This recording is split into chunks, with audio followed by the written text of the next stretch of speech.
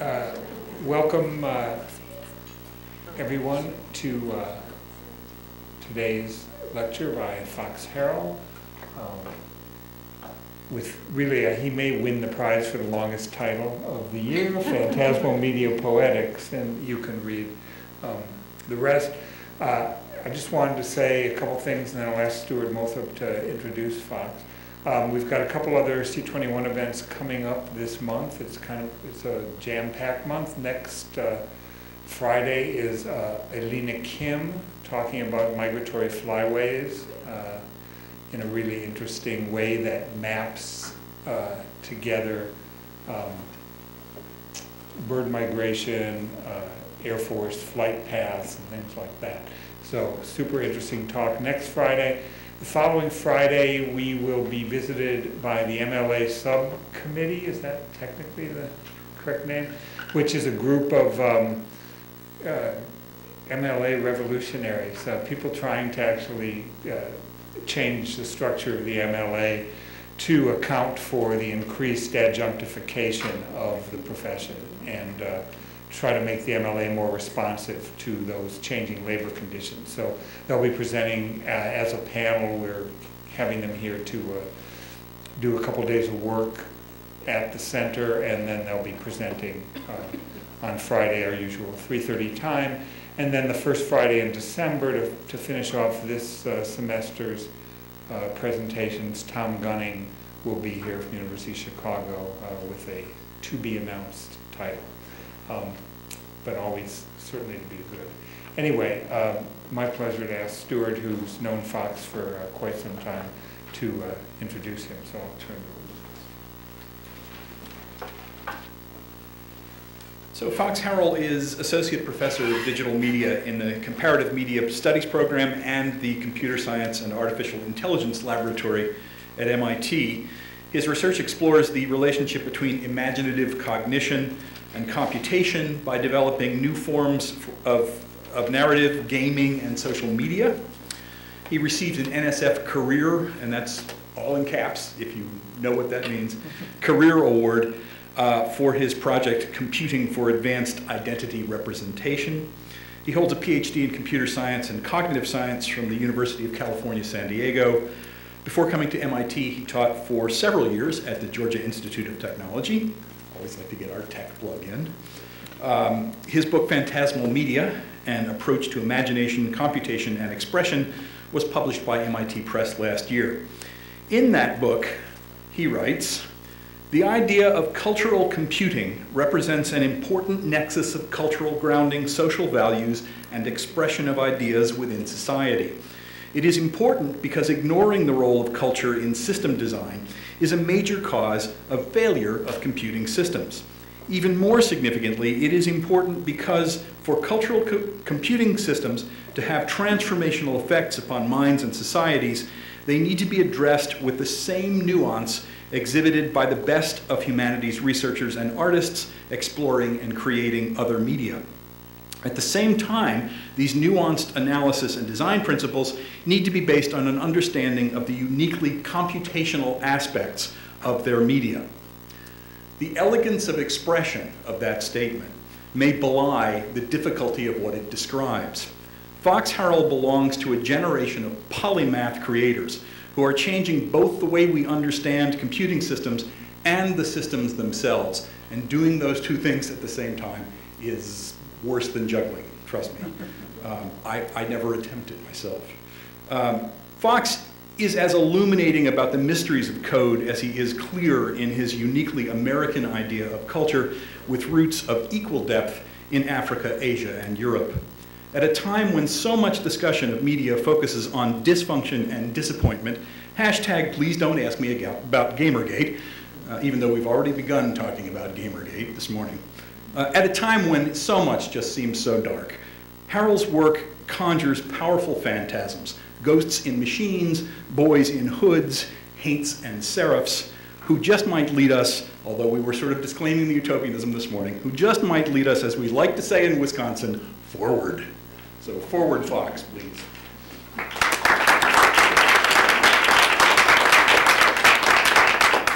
Well, thank you, Stuart, for the very gracious introduction. And thank you, Richard, for inviting me, uh, and uh, uh, Emily and Ned and everybody that's uh, been helping to facilitate and make this possible. possible. Thanks to you also for uh, coming. And so I think it's the subtitle that's actually the long part here. The title of the talk today is Phantasmal Media Poetics. So we're looking at some of the kind of cultural and expressive, expressive dimensions of what I call phantasmal media.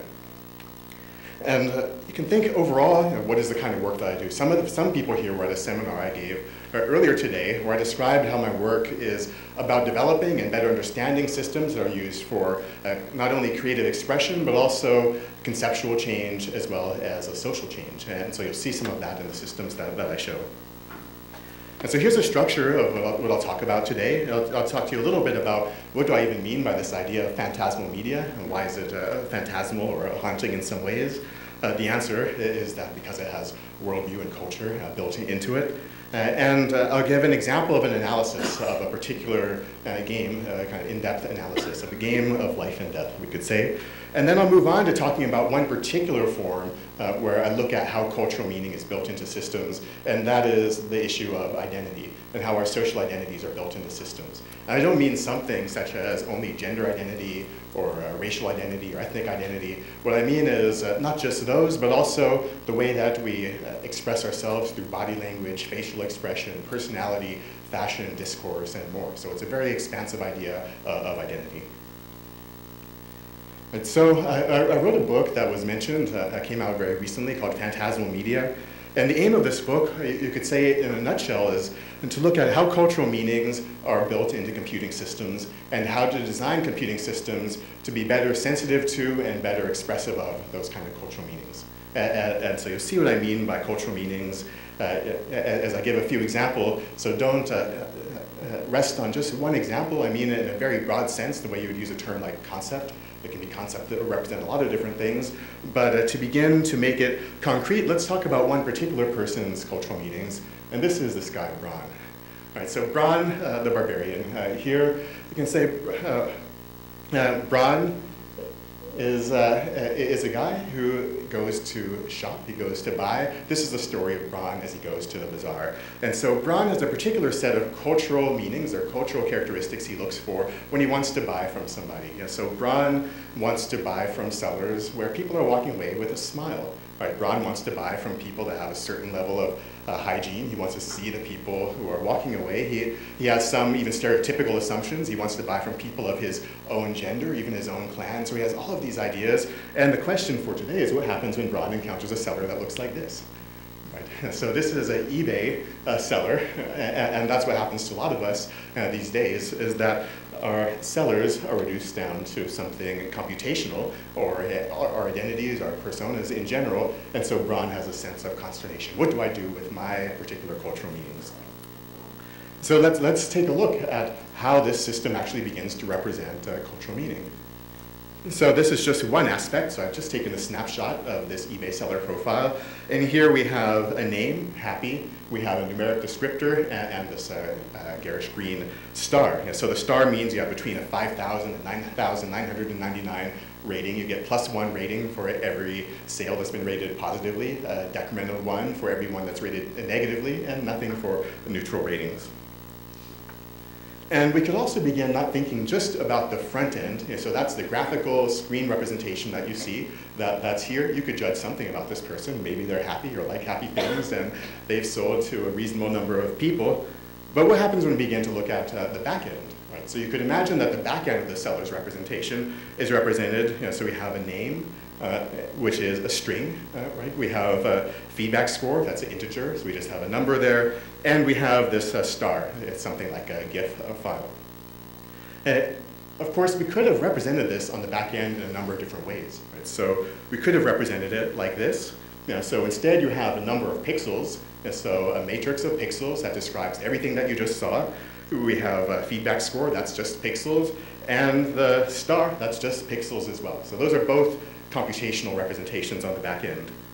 Uh, but we could have represented it a different way completely besides this. We could have represented it something like uh, this. And so this would be Bron's representation in which you have computational structures for the gender of the person, their hygiene, uh, images of of the people that have bought from them so you can see if they are in fact walking away with smiles and so forth. And so the idea is when you've not represented an eBay seller, something like Bron's preferences, in fact you have represented some kind of values there. Those are just the ones that eBay prefers instead of Bron's. In this case, probably for the better. We probably wouldn't want to represent the system just for, a bronze. And the point is that each of these backends, uh, whether it's the fictitious one for Bron that I came up with, or the actual one that's used, encodes some kind of uh, cultural values on, on, that back end. On the data side, right, uh, the, the front end value could look something similar. And so you have an image such as an interface uh, that's uncontroversial and immediately accepted. Nobody looks at the eBay seller and, and, and thinks, uh, what have they left out from social values in that? We just use it. We don't really think much about it. And so when you have an interface that's uncontroversially accepted, unconsciously accepted, uh, without thinking about the values underlying it, then that's what I'm calling a phantasm. And so this is just one example of a kind of phantasm that, that emerges within a computing system, and that's based on the back-end representation, not just the visual screen representation. And I give a number of examples in the book of Phantasm. They're not all static images. Uh, they can be dynamic characters in games and social media. They're not all just identities. Essentially, it's cultural meaning as, can be described by uh, thinking about the structure in the back end. And so this is a definition uh, of Phantasm, a cursory one that's explored at length in the book. But it's a, it's a notion that provides a way of describing blends of mental or sensory imagery. So that, that's what we see when we use the interface, whether it's a dynamic character or just the eBay seller representation, with concepts from a particular worldview. And this is the worldview of what eBay thinks is important for you to see about a seller. And then the concept is presented in a way that's useful for studying computing systems. And why use phantasm instead of any other concept? I'll just go over that very briefly. So one is that it really emphasizes the role of worldview it, when you look at, look at these systems. You know, Semi-visible worldview. It's only visible when I contrast it to something else, like Bron's representation compared to the eBay one. Otherwise, we tend to just accept the representation used in something like, like eBay. Uh, in the book, I define it in cognitive science terms, and so something that came up earlier is this idea that uh, cognitive science in the past was thought of as studying just what's from here up, you know, just what's in the mind, what's in the head. But uh, some recent formulations of cognitive science actually look at the role of cognition in, uh, in the body, the way we think based upon our experiences of the body in the world, uh, the way cognition is distributed. We use artifacts and other people in the ways that we think, and then also situated, that particular cultural situations play a role in, in our cognitive processes. And then finally, uh, because work on the computer is implemented in a very systematic or formal kind of way, we need language to talk about the back end or these very formal or mathematical representations.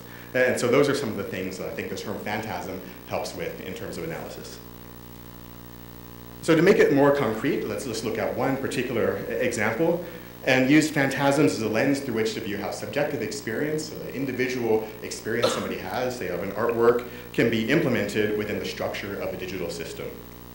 And so to illustrate this, I thought, what could be more subjective and individual than thinking about life and death? Right, that's a topic that's explored in a lot of the different arts. And if you could represent something like meditating on life and death within a system, then how does the system function and how can we explain its function?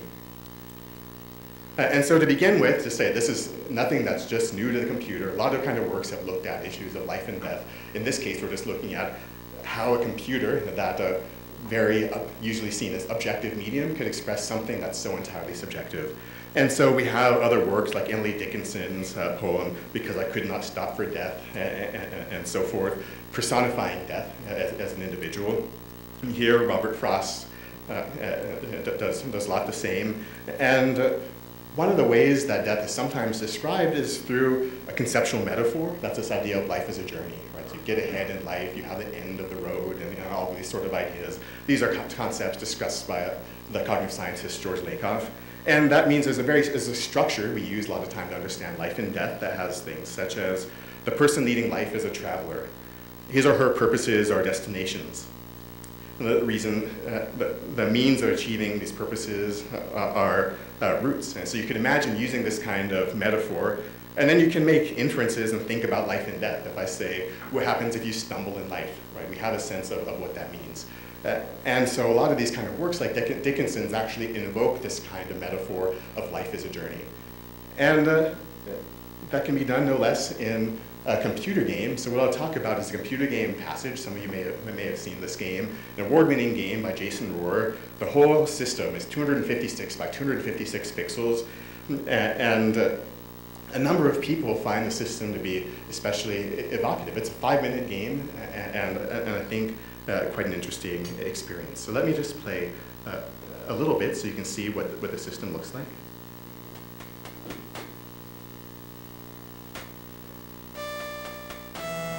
So if you, have, if you haven't seen the system, you start off your play, it's autobiographical. It was on the occasion of Rohrer's 30th birthday, he began, began thinking about his mortality when a friend of his passed away. And so here you have him walking, he partners with somebody, you can partner or not partner. And you have the future is this blurry space that's on the right-hand side of the screen. Uh, as you walk, uh, the score increases. You get these points that are in fact uh, meaningless in, in some kind of way within the game. It just gives you more value you have these obstacles. If you have a partner, it's harder to get to those uh, treasure chests, uh, but the, the, the, journey is more meaningful in a way because your point values increase uh, more. Right, and you see that the characters begin to be translated further and further to the right-hand side of the screen. That means they're moving forward in life. Right. As you go further in the game, the character ages. You can see that He's uh, balding here, the hair has changed color, still navigating the space. You have a transformation of the character himself. right, yes, he's still beautiful.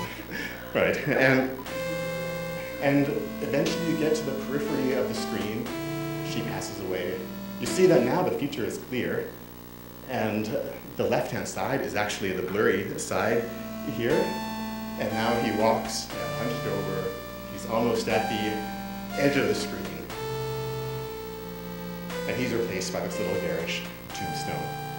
And that's it. That's the way the game always ends every time you play it. And, and a number of people, this is such a condensed experience, but uh, this is an award-winning game, but a number of people have just found it to be quite resonant much as you can within, within the limited scope in terms of graphics and, and experience. And so I began to think about why is this game a kind of resonant met metaphor for a particular view on, on life and death?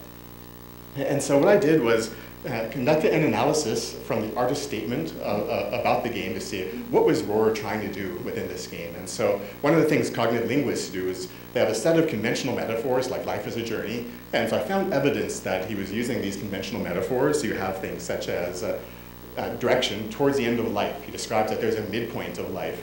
Right, so we have directionality and, and uh, journey. We have spatial metaphor for life. So right, towards the end of life, future is left, uh, as you grow older, this territory in front of you that's uh, shrinking and so forth. Uh, and so there are a number of these kind of metaphors that he's invoking with, with, with the system. And so in bold, you see that's, that's where I've shown the evidence for the metaphor that's described on, on the left side of the screen. And so I found a number of the, the, these kind of metaphors and began thinking about, well, how did he take these metaphors he wants to convey to the system and then evoke those with the actual design? And if you think about it, that's what designers of a lot of systems do. You have an idea of what you want to express or what you want to build, and then you have to somehow map that to an actual implementation that you, that you, want, to, uh, that, that you want to develop in the system. And so the question then is how would a game developer begin conducting that process of taking these very subjective ideas about life and death and then thinking about those in terms of game mechanics? And uh, so this is, so what I've done in the book is taken this very mathematical definition of how you would describe and spec out one of these kind of systems and then represented in a way that, that I think should translate more across, uh, across disciplines and that's where you begin to look at the structure uh, of these systems. And so you have, for example, uh, uh, this is describing the sign space or semiotic space, you know, that's the system itself, but you have subsorts, so you have different uh, part whole, or different subtype relationships between things that are in the space. You might have, say, uh, uh, different types of window, you know, text window and graphics windows that could exist uh, within the system. You have levels, so you might have the entire space, then you have it subdivided into past space, present space, and future space. You have different part-whole relationships. And then you also have priorities. So you might say, what was the most important thing to Rohrer about life and death? what, was, uh, what were other things that were of less importance but still made into the system. So he has, you could say, a hierarchy of values that he wants to begin to express. And so I began describing that in a kind of systematic way here. And so you have the space that's, that's described, and you have the priority of the space that's represented. That's sort of the most important thing is the overall life. We have uh, you know, the maze that's explored, the past, the present, and the future, and so forth and then begin to think about the structure of the space and how that maps then into the actual implementation. And so the details of this are in the book, but the idea is that I've analyzed mappings to say what from the actual description of his ideas made their way into the implementation. Uh, and in the case, in this case, most of the aspects of the metaphor of life and death are actually implemented within the mechanics of the system itself. And so uh, you, one way to phrase that is to say the priorities, his priorities, his values are preserved in the structure of the actual game. And, and so, for example, you have uh, features such as the most important element is the entire screen. Of next greatest importance is the player character and the, the tombstone that replaces him. The player character and the tombstone that replace him are important because that reflects oneself and one's own reflection on, on mortality. Uh, and so then next, most important, within the whole life is the idea of past, present, and future. So those are the three areas that the screen is divided into, uh, and, and, so forth. And so the idea is that uh, you can structurally see that all of these aspects of the life as a journey metaphor, for thinking about uh, life and death, are preserved within the structure of the game itself. Uh, uh, and you could say that's a point of the analysis, is begin, begin to look at these preservation values as a means of assessing the way that the systems convey phantasms. And so what I've hoped to argue so far is this idea that uh, phantasmal media helps to explore the technical aspects of systems, but how they implement subjective and cultural content. And that's just one, one example of this broad life and death metaphor. And so with the rest of the talk, I want to look at another type of, of content, not life and death, but that of social identity, and, and the way that social identity is built into systems. And that will be described through the lens of this project, a five-year NSF-supported project I've, I've, run that uh, Stuart mentioned called the Advanced Identity Representation Project. And I should say that it's called the Advanced Identity Representation Project not because the systems we create are so advanced, but I actually think what people do in the real world is quite advanced in terms of how we navigate, how we change our behavior. We might act one way in the home, another place in the classroom, another place with a loved one, another way with a loved one. And systems don't have that kind of nuance. When you go on Facebook, you can't just click a button very easily and say, all right, let me show the self that I want to show at home or the self I want to show at work, right? We're just reduced to strictly privacy settings. And let me give you a sense of what I mean by uh, computational identity systems. That could be anything ranging from uh, a computer game, virtual world, uh, uh online account in something like, like Amazon. And the issue is that our identities are implemented in all of these kind of systems nowadays. Everybody has one of these kind of systems. Most of them interoperate with each other. You might have to log in through Facebook to leave comments on ESPN, for example. Uh, and uh, now the question is how do we represent ourselves in dynamic ways like we do in the real world, uh, thinking about issues of power relationships and, and, other social issues, discrimination, through the lens of these systems we have on, on the computer. Right, and so uh, just this reminder again, not all phantasms refer to identity, but for the rest of the talk I'll be focused on phantasms of identity. And so this is a particular uh, computer game. Is anybody here familiar with what, what computer game this is? Uh, right, yeah, so a couple people recognize this. Know, so this is from Elder Scrolls 4, uh, Oblivion. And, and, so this is from kind of online manual. There's an actual screenshot from the game. Uh, and uh, I want to talk about what some of the problems are with some of these existing identity phantasms. And it's not just this game. I mean, this game actually has a number of laudable features, but I want to talk about one feature of this that, that, that has a, a bit of trouble. And so, uh, in, in the sense of encoding stigmatizing assumptions. Yeah, so in this character, you have the ostensibly African characters that are called uh, Redguard, uh, that are described in terms like the stereotype of a black athlete. You know, so they're called the most naturally talented warriors. They're physically blessed with hardy constitutions and quickness of foot. Uh, and, and, in gameplay, this actually translates into bonuses of running and jumping ability. Uh, and actually, the more you run and jump, the better you even get at, at those abilities. Uh, and similarly, the, the Nord characters are also, these are Viking-like characters, are optimized for physical combat only, rather than kind of uh, intellectual or magical uh, pursuits.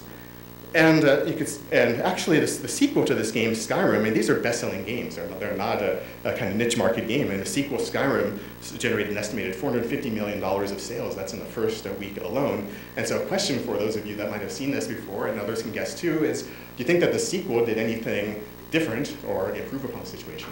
Right, so I see a few heads that, that, have, uh, that, that, are shaking here, that's a, about the same. Actually, the Redguard looks different in, in the sequel. I've been writing about this phenomenon in a number of articles you know, recently. Well, anyway, this is what the, the Redguard, but before you change anything, this is the default Redguard now. If you begin to play Skyrim, looks like this. Right, so, uh, but actually, I think it's no better than, than, than the other one. Uh, and, and, let me say what the reason it is. So it's not, again, a superficial visual rep representation issue, uh, or I should say surface level representational issue. Rather, the issue is something like this. So if you look at the stats, but these are all, all the stats for all the different races within the game, fictitious races. But in this particular game, the, they represent sort of real world ethnic groups. So Bretons are considered usually the French group, Imperials are Romans, uh, Nords are kind of Scandinavian and so forth, along with some fictitious types. But if you look just at intelligence here, and you see the ones in red, if you're a Nord or Redguard, by default, you're going to be 20 points less intelligent than your uh, ostensibly French or Breton uh, counterpart. Right? If you're uh, Orc female, you're going to be 10 points more intelligent than your male counterpart. Now, so again, this is on the back end, like in the Bron eBay example, on the back end we have difference. It's not just the visuals. So changing the Redguard representation actually doesn't do anything uh, for, for, for this. But I think you can go a bit deeper than just default stats, because some people might say, well, you can play the game in a number of different ways, and the final impact of default stats is very little by the time that you're a high-level character. But let's look at another game. So this is an earlier uh, image from a game called Neverwinter Nights. Uh, it's a kind of Dungeons and Dragons based role-playing game, also a kind of best-selling game.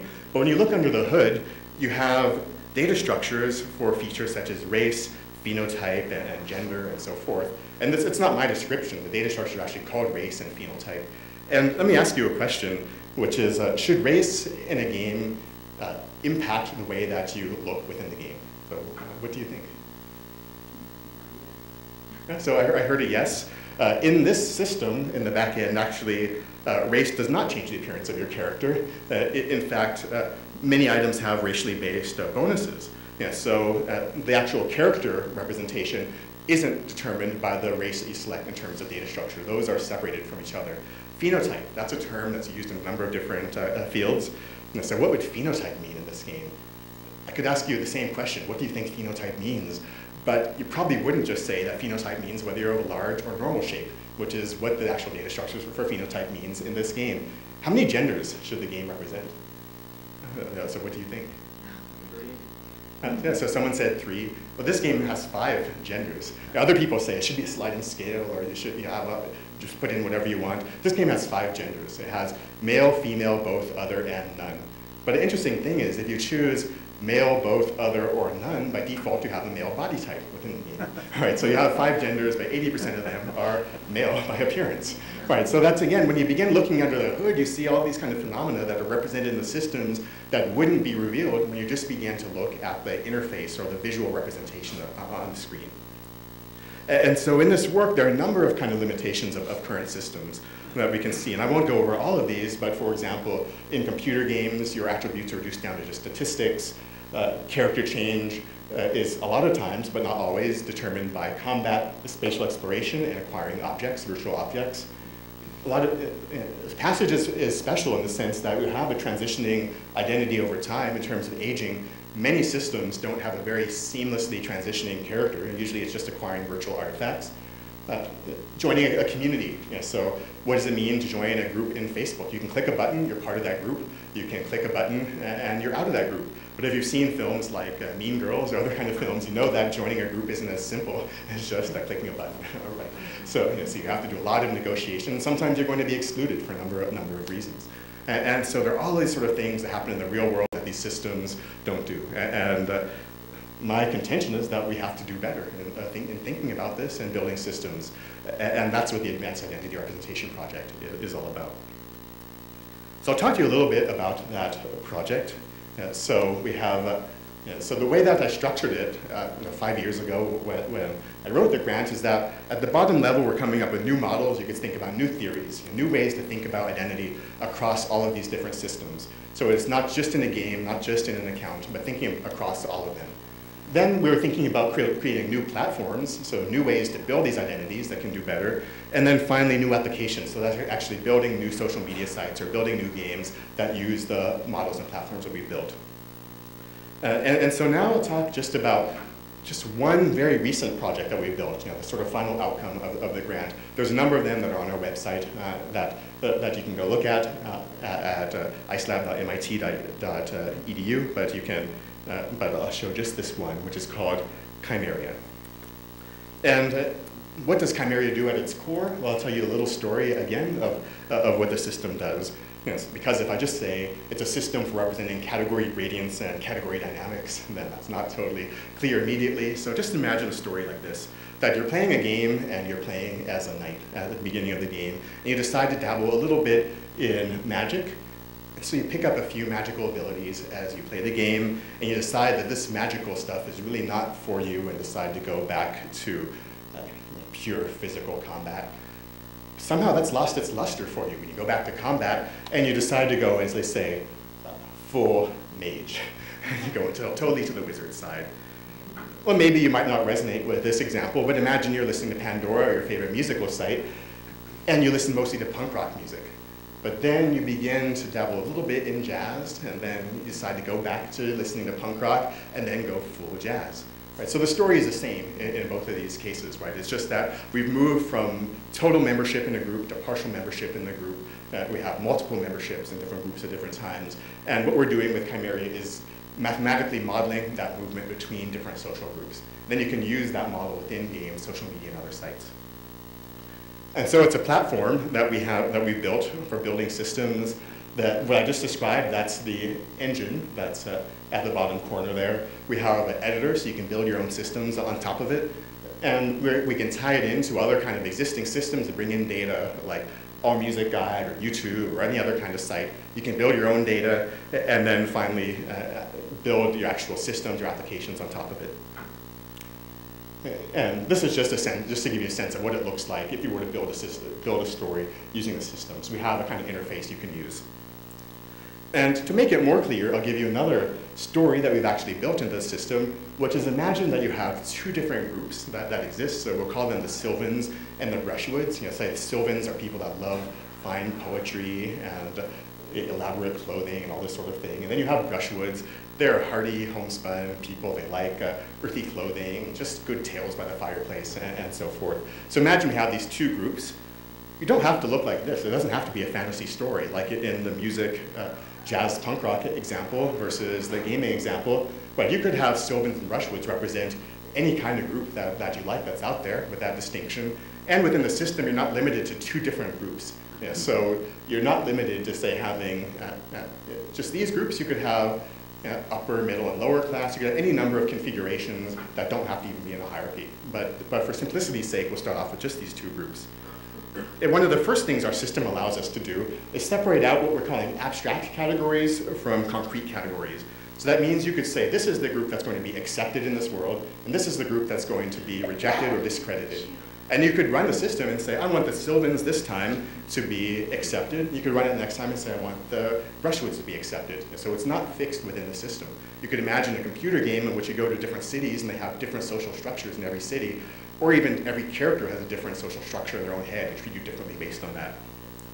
And then each of these categories, the concrete categories, have features like clan, gender, height, speaking ability, a number of different features that you can, that you can decide what you want for yourself.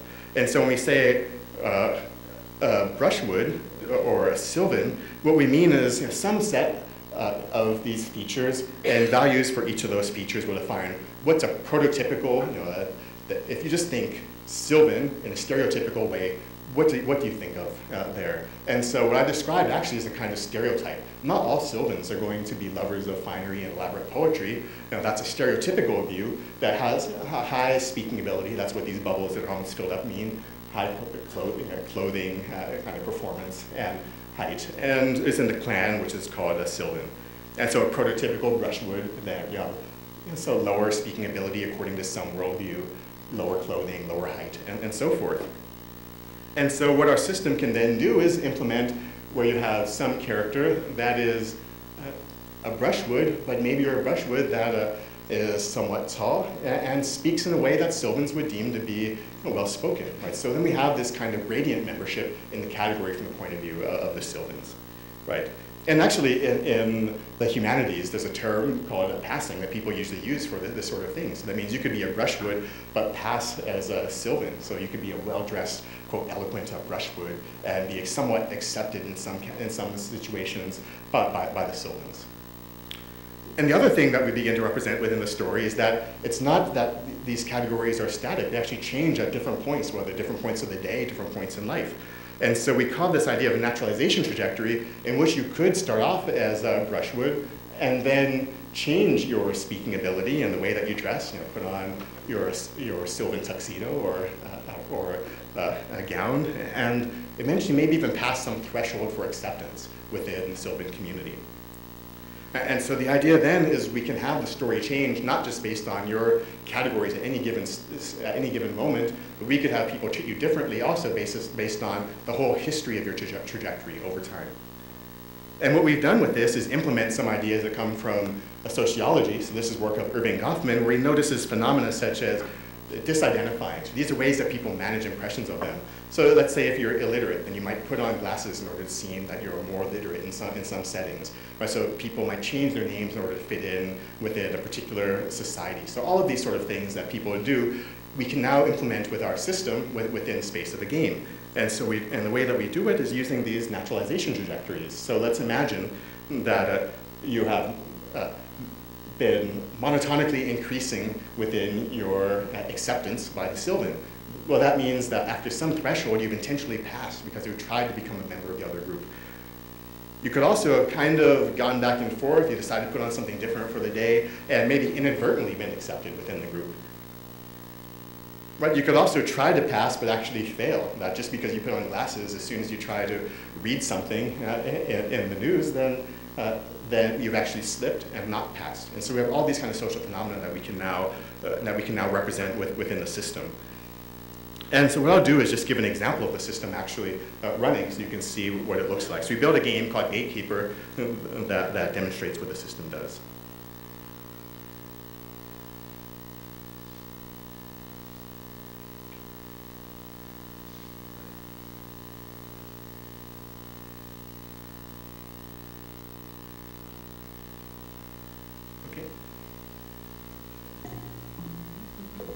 Okay, so we have now the Sylvan and the Brushwoods have been at war for ages. The Sylvan, known as the tall people on average, are sometimes judged from afar to be lovers of finery and elaborate poetry, as we know. The Brushwood are seen as small people, some judged from afar to be fond of earth, earthy, homespun fabrics and good hearth tales. In this case, you're a Sylvan, so remember that. And you're before the gate of a keep that's guarded by a brushwood. So in this case, the brushwoods are the, are the gatekeepers and, and the privileged. And so you need to enter, the need is dire. You are tall, wearing fine clothes, and articulate. You see a brushwood guard with sturdy armor. He looks preoccupied. Okay, so what do you do? Do you dust off your boots? Do you adjust your clothes in the gilded mirror that you have? Untuck your tunic or hide your fine jewelry? But you can choose. Okay, so you hide the jewelry. He likes that. So he smiles approvingly. And you think to yourself, I'm trying to fit in with these brushwoods. So it's not just their reaction, you're actually reacting to your own transformations of yourself. So he has a wary expression, and he asks you a question. We don't see many of your kind, well, we don't see many new folk around this part, uh, he says. It seems like he's going to say, we don't see many Sylvan around here. And so do you say, tis not far from home? Oh yes, a good man, this is a strange land to me. New, I'm from just around the way. Or I'm from a little ways off indeed. Okay. Yeah, he doesn't like this. right, so it doesn't seem like he wants to let you in. He looks curious. Do you speak to him in your own language, uh, Sylvan? Uh, do you say hello, greetings, brother, good day, brushwood? Uh, so what do you say? Okay, so greetings, brother. Yeah, he likes that. And you're trying to fit in. He looks curious. Do you speak to him in your own language? Say some weather we're having today, good day, or I hope you are faring well. A star shines upon the hour of our meeting. uh, you want, which one? Weather. Okay, weather, all right. Okay, he's approving. All right, so he says, welcome, I think you'll be at home here. Yeah, so that's, that's one ending of the story. But you think to yourself, I got in, but I had to pretend to be something that I'm not. Right? So it's not just that you got in, there's also the kind of internal psychological impact of the experience. And just to show you for a contrast, let me go through it just one more time, but I won't get your input. And also, you know, there's a structure behind it I can show. So there's a narrative structure. This is the entrance clause. We have motivation clauses. We're doing checks here. So we have different values this, to check to see whether your clothing are in the accepted category and so forth. You know, so this is just showing a little bit of the back end of, of what's happening. And so let's say that we uh, do, let's say, use our gilded mirror. Right, and, see, and so you see the trajectory, we're decreasing in our trajectory here, but uh, the immediate effect is that we're still accepted at the current moment. So this is just to give you a sense of what's going on behind the scenes in, in the system. And so we'll speak in our own language. Let me turn off all of this. And but you think to yourself, I'm being myself. Straighten up, stand tall about this uh, smaller guy. And speak in our own language more. He's really not liking anything that we're doing. And he says, you're not welcome here. And so that, that's one yeah, outcome. And close this, but then also show you that those weren't the only possible endings for each of those possibilities. And so you don't need to, you know, this is small, you don't need to read all of it right now, but let me just point out a couple of different points, is that all the endings in the red are ones in which you don't get in, uh, uh, are, are, are, ones that are deemed as kind of negative endings, and then you have all these ones where you, where you don't get in, but within, we have polarities that are negative or positive, whether you get in or not. And so, for example, you could get in, and then you get this, uh, what we got, well, you could have gotten something like, thankfully I got in, rather than the negative one, which is the theme of denial of self, which we did get that time. Well, I had to pretend to be something I'm not. And so you could have run through it doing exactly what you did, gotten in, but then you're just happy that you got in regardless because you passed. And similarly, you could have just stuck to yourself and been Sylvan the whole time. There's a phenomenon that Goffman calls a stigma allure, that's basically being exoticized, where you got in, uh, uh, but they say, it's glad to have you in here. It's great to have just a little Sylvan flavor in the place, right? So that's where you don't, you get, you get in, but you've been acting yourself the, the entire time. So you have all of these different kind of possibilities uh, you know, what, the, system raises. And just to show you the different, the different sort of uh, things you can do with the Chimeria system, I'll end with this example, which is a, a social network uh, that has the same kind of gradients of, of, categories, but this is one that looks like uh, musical categories, and it's a kind of social network on which you play out musical taste. And so we'll call ourselves a C21 here. And so I need a few recommendations of artists. So if you log in through Facebook, it can use the likes you already have for music on Facebook. But in this case, uh, I'll, I'll, just get a few suggestions from the audience. So what are some artists that, that you like? Pixies. All right, that's a good one. So uh, Pixies. Well, before uh, Kim Deal left, so that's a good one. so, uh, all right, any other suggestions? Okay. All right. Okay, we need a final suggestion. Okay. All right. Yeah, so you see we have this type ahead functionality. So we're tied into an external system called Rovi Core Cloud Services that, that's giving us all of this uh, information live.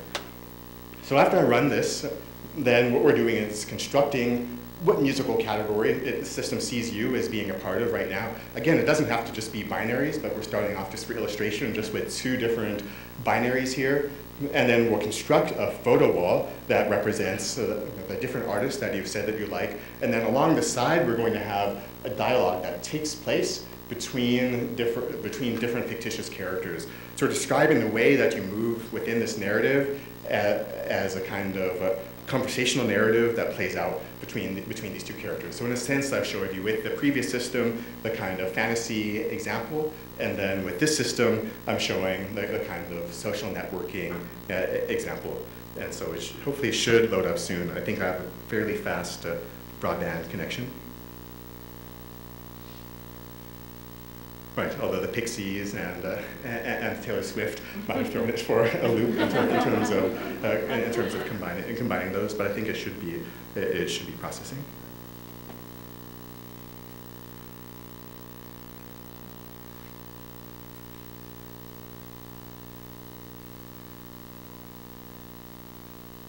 I wouldn't count on a fast bandwidth. Yeah. Okay. Right. Well, I'll try it one more time with the same ones, and if not, then. I'll uh, show you what it does, but it's- but it seems to be logged on because it's finding, finding them.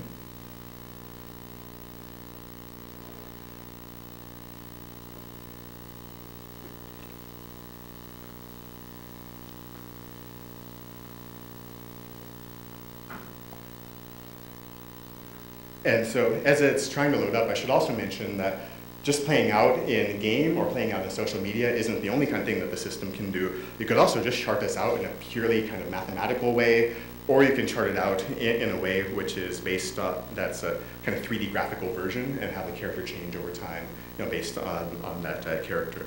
And so maybe I'll let it load in the background and then see, you know, go on a little bit, come back in a few and see if it's uh, done loading. I usually use Ethernet cable because it requires a pretty fast uh, connection. And so anyway, this is what the system uh, looks like. You know, so we have different characters that, are, that start talking on the side. Uh, right, so you begin, you know, you're in a certain kind of group. You have oppositional groups like jazz, pop and rock, yeah, some neutral people that come in. And so they might bring up a suggestion such as, uh, uh, oh, well, maybe you'll like this music. You can go in and click on it and say if you like it. And then your membership in that category changes. Your photo wall over on the other side begins to change. But then somebody else might say that, hey, I thought you liked pop rock. I never pegged you for a jazz nut. And they begin refer, you know, give some input there. And uh, say, actually, you seem kind of soft lately. And the soft isn't something that's coming, that's pre-written. It's actually using this external database that has themes and moods describing all of those artists and generating that conversation on the fly, right? And, but other people might begin to reject you based on your changing membership. Well, that's odd. You said you liked Jimi Hendrix, but now you're a huge fan of jazz. And so again, your membership is changing uh, over time. And that's,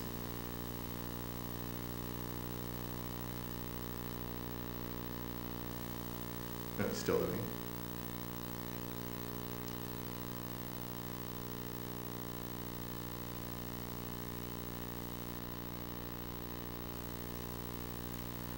Right. So the bottom line then for uh, Chimeria, and maybe I'll bring it back up during Q&A and you actually see the system running, but Chimeria offers researchers and developers a way to represent category gradients and category dynamics. Uh, it- it's a system that's tied in actually to the real world and real world data, so that's, that's why it takes some time. So bringing in information from the Rovi Core cloud services, from YouTube, from other sort of places. The Chimeria system uh, also enables system, the systems to reveal phantasms of identity. You know, so you can model aspects of phenomena such as stigma, marginaliz- marginalization, the intersections between multiple categories, uh, you know, a number of different identity categories, and more. And so, remember me, you know, so the Bron at the very beginning, when you didn't know where I was going with the story of Bron the Barbarian.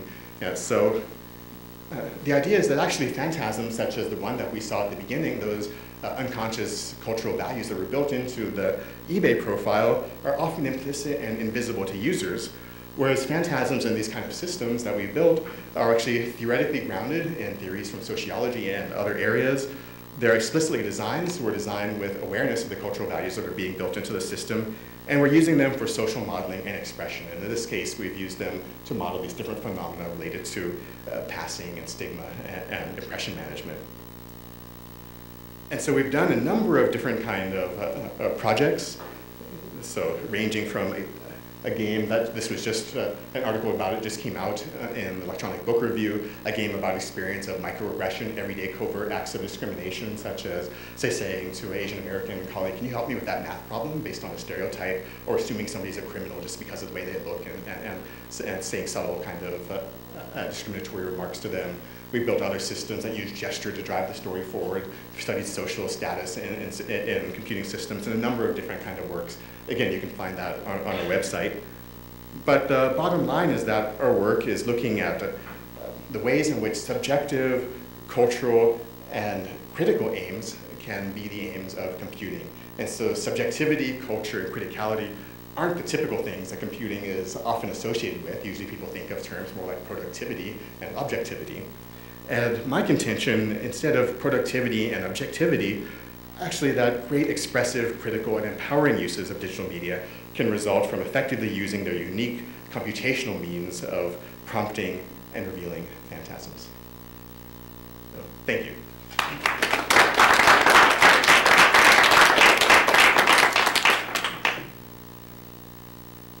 Okay, so uh, open for any questions that you might have to. Uh, I guess here and then, Um, yes. um, So thank you, It was a really interesting talk, and I was just wondering if you could say a little bit more about um, the kind of feedback between represent, trying to uh, unpack and represent these processes of, um, these social processes, and then at the same time tracking the way that we adjust our own, you know, self-invention and social relations to the categories of sociality, you know, to the modes of sociality that we're become familiar with on the internet. So, um, you know, to what extent are my social relations actually changing in the way I use eBay and Facebook, et cetera?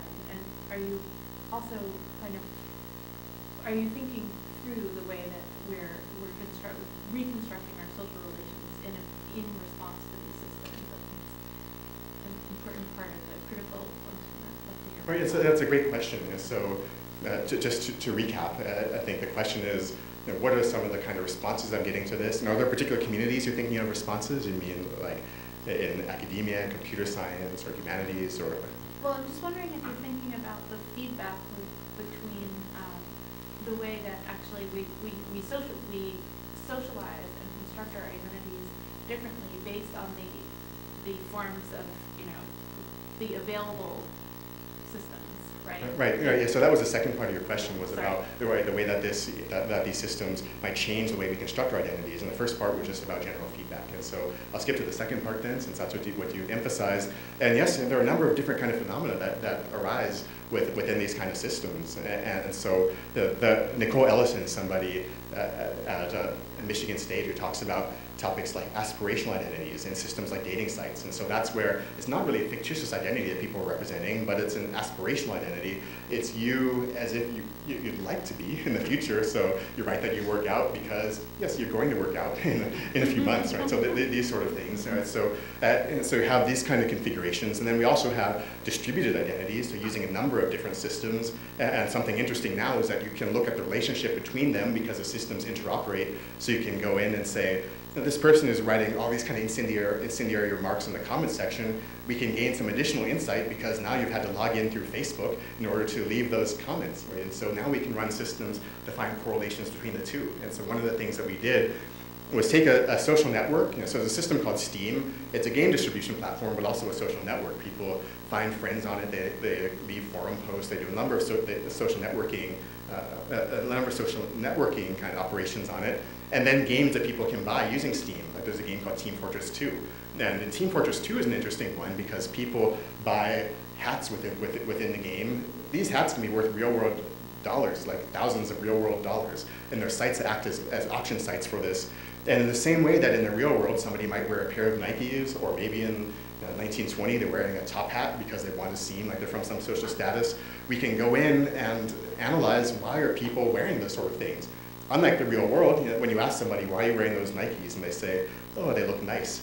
In this game, we actually have data about how they're socializing, how many friends they have, who they're networking with, and then also how they even acquired the item. You know, was it part of online promotion? Was it gifted to them? So now we can find all these insights about social status as it takes place in the social network. And so there's a different kind of social status. We actually use what are called what's called tie strength. So can we, based on the prediction, so this is based on the idea of uh, Mark Granovetter, uh, where you have strong or weak ties between people in your social network. We're calculating the strength of ties by things like how many posts do you leave on some of these pages? What are the kind that you use very emotional language or non-emotional language? We're calculating the strength of that connection you have with that person and all of these other features about someone in the social network and then finding how does that play out with how they perform in a game right, and, or in a virtual world.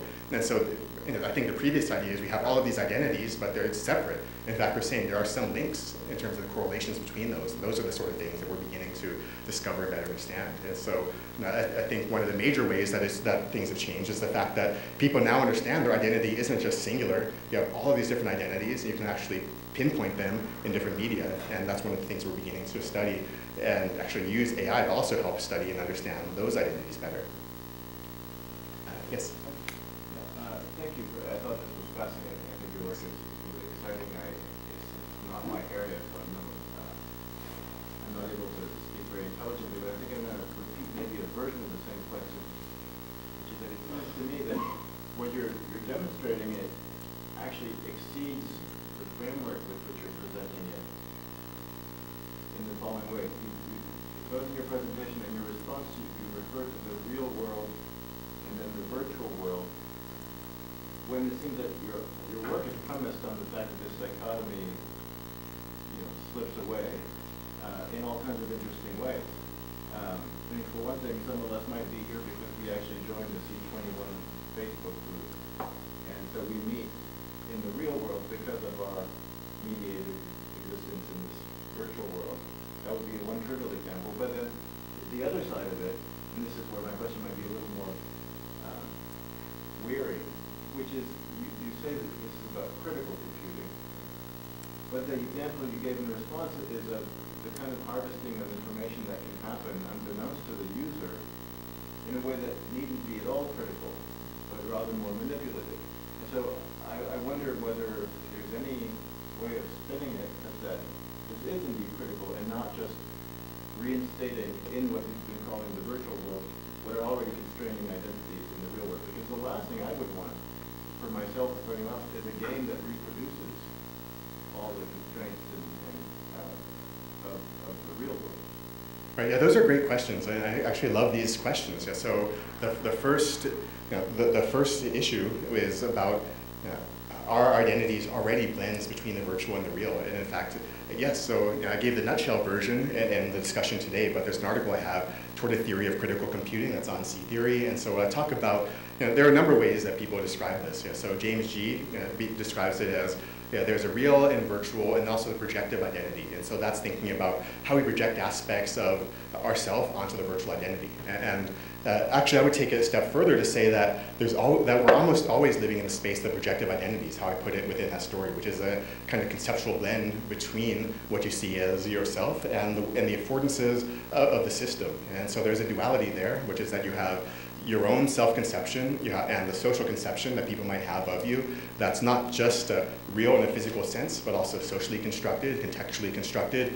Then you have the system and what its affordances are. On the system side, that can tap into another a number of other systems, so that's network. And you can ask, where does the data within that system come from? Is it just one designer? Is it, is it tapped, tied into other systems? It, it, uh, is it kind of driven by the crowd or uh, data driven in some way, like uh, by Google searches and so forth. And so you have this nexus where you have a blend between both of these sides. And even something as simple as uh, icon, as an agent like uh, Pac-Man, in fact, is in a space of the blended identity because it's your control that's being mapped onto the icon. So I wouldn't even call Pac-Man a, a virtual identity. Right, so most of the work that I'm doing is actually right at that nexus point. And so when I talk about these systems, I talk about terms of user agency and system agency and the ways that those intersect. And they always rely upon one another. So user agency with the system is always enabled by the affordances of the system, but system agency and seeing the system as agentic or having some control or power structures built within it is always based on the interpretation and cultural values of actual users. Uh, so so that, that, the question allowed me to elaborate upon, upon those, those points, but that's the way that, that I see it. And then the other issue is uh, I think yes, there's a there's a strong danger with some of these kind with some of these kind of uh, systems. You know, with using AI and data mining techniques in our own systems, we have some ways that we mitigate against it in terms of using uh, only publicly available uh, data and making sure that all users are aware of what we're doing and user studies and human subjects and so forth, and then using it to illuminate to help people understand the way that these processes are built into systems. So, for example, within the book, I talk about recommender systems and the algorithms that are that underlie recommender systems, such as used on Amazon. And in fact, if you read the technical papers, there are users that are called gray sheep and black sheep. And these are, you know, that's the technical terms that they use for users for whom these systems fail because they uh, have tastes that can't be categorized or they're just so idiosyncratic that, that, that, that, that the system can't, can't handle them.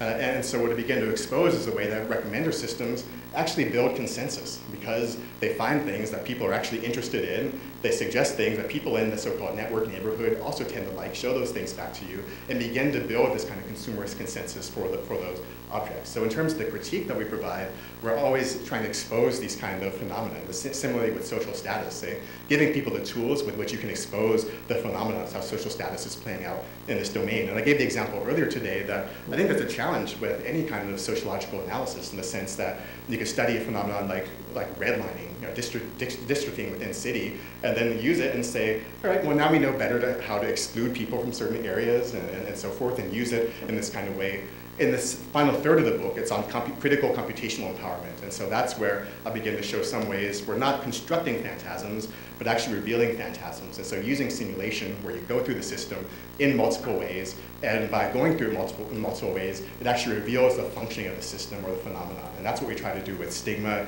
in Chimeria Gatekeeper. That's not to say indoctrinate people with the value that exclusion is bad, but actually, you know, here's a number of ways you can interact. You can get in, you can be excluded, you can be accepted, you could feel bad about yourself, good about yourself. You have all these different uh, possibilities, but you can begin to think systematically about that phenomenon. And similarly with the work on microaggression, the system called Mimesis, that's the way a lot of our systems uh, work. And, uh, and so it's actually exposing the fact that worldviews are built into these systems is one of the ways that we use it for engendering critical awareness. And then finally being tied into how these systems bring in values and data from other sources, like surveillance sources and other areas, and uh, calling attention to that uh, and thinking about issues of conceptual and social change based on making people reflect critically and consciously, I think is one of the kind of other aims. We talk about, and, and then also building their own systems too, because part of critical computational empowerment is having the ability to be a maker and doer uh, of these kind of works. And so that's the other thing. We build ways for people to enter it at various, various different levels and then use the systems themselves to build challenging kind of artworks. But it's, it's a major issue when you begin to do any of this kind of work is uh, how do you avoid the work being co-opted for forces that you don't want to, uh, that, that, and you don't want to be supported by the work. But I think it's not exclusive to computational work. Yes? Um, so first, thank you for kind of flashing me back to Neverwinter Nights and so long time right. since the this uh, definitely that vivid memories. Uh, second, I was wondering if you could talk a little bit about how, if at all, you see dynamic range fitting into this. Because first, you seem to talk about this question of uh, accommodation, where something like stigmatized forces don't really account for a lot of gray space. Uh, and the second level, it seems like something like gradient or dynamics allows for more of that, but also seems to suggest that now something like dynamic range becomes this value identity. I don't know if it's necessarily something like cosmopolitanism, but uh, it seems like being able to switch between these becomes increasingly important or operational. All right, so that's a good question because it's one of the first reactions. I'll give an assignment sometimes that has students pick their favorite identity representation system or any identity representation system out there and then find some limitation of it, and then design a way to do better. And so one of the first responses we'll get a lot of time is, well, let's just take something that was a binary and make it continuous. Let's have a gen uh, gender scale that's just continuous. You'd be more or less masculine or feminine. And, and, you know, and like you say, that's just representing, replacing that worldview with a different worldview. And so what I'll show them is systems like, actually Facebook introduced some of this you know, recently, but before you have male, female, and, and then you had other within it and now you can have type in you know, gender category. But when I began showing this, then, then we had, uh, you know, I contrasted Facebook, we had male, female, and other, to a site called GenderFork. And in GenderFork, this is an online forum where you have options to say, define what pronoun you want to be used. You know, that you, you, you can upload photos, you have ways to describe who I'm interested in. You have, so it's, it's not really, it's not a dating site, but it's a site where you can talk about your gender identity and ask people to, to refer to you in the way that you want to. So that's a very multivalent kind of site. And so if you were to say, bring the idea of a continuum or slider to that community, then that would be deemed insufficient. And so what I'd rather say is, looking at the underlying values of any community, whether those values are that of the gradient scale between binaries, 50 different features and so forth, and say, just recognize that you're building cultural values into the system and say, what are the needs and values of your user group that you want to try to, that you want to try to support? Are there places in which you're actually trying to create a, a, insurgency to change the values of that group? Are you trying to support the values in a user-centric kind of way? Then you're doing it in a, in a knowledgeable kind of way. You're building a system that's based in critical analysis, either taking your own ideas, taking ideas from studies that are out there that other people have done, say gender, race critical, or categorization experts, or you're doing a user-centric study. We're saying what do people in that community need, and then trying to serve those needs. And so there are a number of ways you can uh, do this, but I wouldn't suggest that you know, my idea here is just to say replace you know, the existing values and then always put in a gradient or always put in exactly what we have here. Actually, the system could be used to implement a, a whole host of different kind of categorical structures. And that's what I think is interesting because people will say, I mean, this is, you know, so, uh, I think Stuart said, let's not mention a Gamergate uh, uh, here, but we, but we can say that I think one of the, the, the ways in which it's reactionary is this idea that you think of this kind of, a, a kind of intervention is always going to be like a diversity training tool. That means just like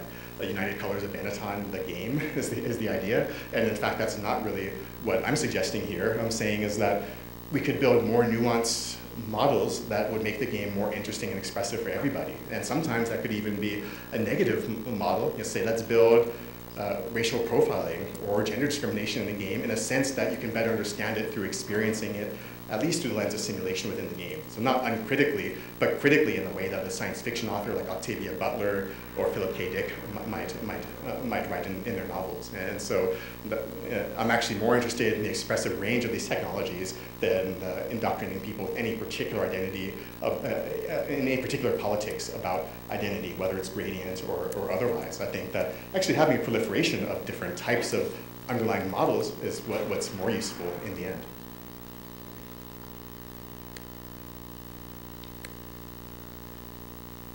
Yeah, Fox, I want to ask a uh, theoretical or question, or a little more abstract, I guess, about your understanding of the relationship between computation and, let's just say, mediation. Because sometimes you talk about computation as a medium, and then that makes me, as a media theorist, hesitate a bit because it seems to me that computation runs, you know, algorithmic computation runs under all sorts of different media. So there are algorithms, uh, algorithm computation for games, but also for shopping sources, also for representation of uh, digital uh, imagery, things like that, mapping, so on and so forth. And so I guess the, the question is, you know, do you think you're, is there, is there, are there steps that are being left out or steps that you want to, at some perhaps later time, focus on? I mean, I think, for example, of, in other words, is computation a medium or is computation the kind of uh, technology that allows for media to exist? The way in which, let's say, a camera or a movie camera allows for film or editing decks allow for films to be made and things like that. So that when you think about like film analysis of gender, uh, one of the things that one focuses on are camera angles, the objectification of female bodies, and things like that that happen uh, not through algorithms of features of characters or things like that, but through actually, in this case, you might even call them, you know, cinematic algorithms in that regard. So I just, I guess I'm just curious about your understanding of computation. I mean, most of your examples are games. I mean, in a certain way, if you were saying, okay, I'm interested in the medium of gaming, then I get it. But you're seeming to want to do, make a larger claim about right. computation more broadly. So right, I guess yes. I'd just be curious on how you understand that relationship. Oh, yes, so let me see. I should have something that describes this a, a bit. And so I'll bring up this image, but also begin begin to answer. And so that's a well, film is both a technology and a medium, right? So we talk about cinema and film as a, as a kind of a kind of medium, and, and there are a number of different sort of things. So work like uh, Mothlight, if people are familiar, right? We're just putting dust and moth wings on, on the, it, uh, it, calls attention to the materiality in a technical sense, but also is a kind of mediatized experience. And so that's just to say that I think computation certainly is a, a kind of technical you know, process, but also I think that we do have computational media uh, now, and, and you know, I don't think it's a singular uh, medium, but I think there are shared characteristics between, between those. And so that's not just uh, you know, me, but I, but I think the number of scholars that begin taking that, that, that you could call it mediatized turn. You know, so you know, Janet Murray and talking about you know, the procedural, encyclopedic, and other characteristics, and Lev Manovich uh, later on, and Espen Aarseth begins to talk about uh, kind of dynamics of, of medium and you know, led with transcoding. So you have all of these different kind of ways that people begin to say, there's something here. We have enough kind kind of mediatized experiences that, that, that are mitigated through computation, that we can begin to think about computational media in some, in some kind of broader sense. And so you know, I appreciate that turn, but I don't want to just leave it there. So I'm interested in certain kinds of things that the medium can then uh, do. So in terms of imaginative world building is one, you know, building these kind of phantasms, building cultural meanings. And so this idea then of building cultural meanings using these kind of tools that, that are characteristic of the computer when it's used for, uh, for media. And so that's, you know, that's a kind of linkage between, between the ideas that, that, that I'm interested in. And so just to take the idea of identity, the, the, the way that this would work is to say that and uh, in the book, a lot of the examples aren't in fact just gaming. So I talk about the recommender systems with Amazon and, and, uh, and, and, a host of other kind of systems, a kind of system about the aftermath of Hurricane Katrina and, and so forth. So I, I showed just a couple of examples uh, today. And, and so here we have one of the core ideas underneath the mass identity representation project, which is Let's say you have social networking profiles, avatars, characters, online services, so some of which you might say that buying something, is that a medium or is that a service, and, and so forth. But underneath them, there's some set of shared characteristics. And so that means you might have static media assets like, like an image, flat text, modular graphical models such as 3D or 2D models there,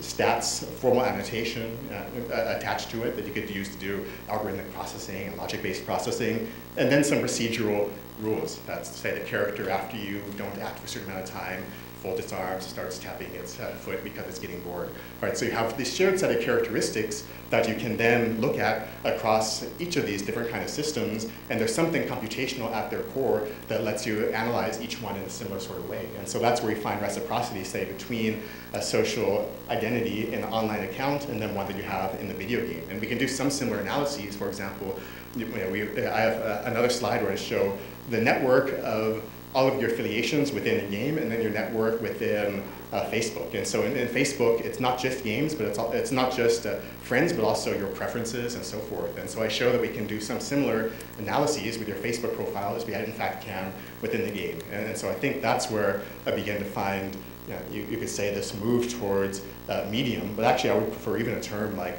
uh, like vehicle of, of cultural meaning uh, is more fundamental than, say, medium of communication. But, but in fact, it's these synergies, the fact that these underlying processes of data structuring and, and algorithmic thinking actually underlie cultural meaning making, whether it's used for explicitly expressive purposes, also for productive purposes. But I tend to focus on the less productive or subjective purposes because I think that's something that's been underserved in the area of, of computing.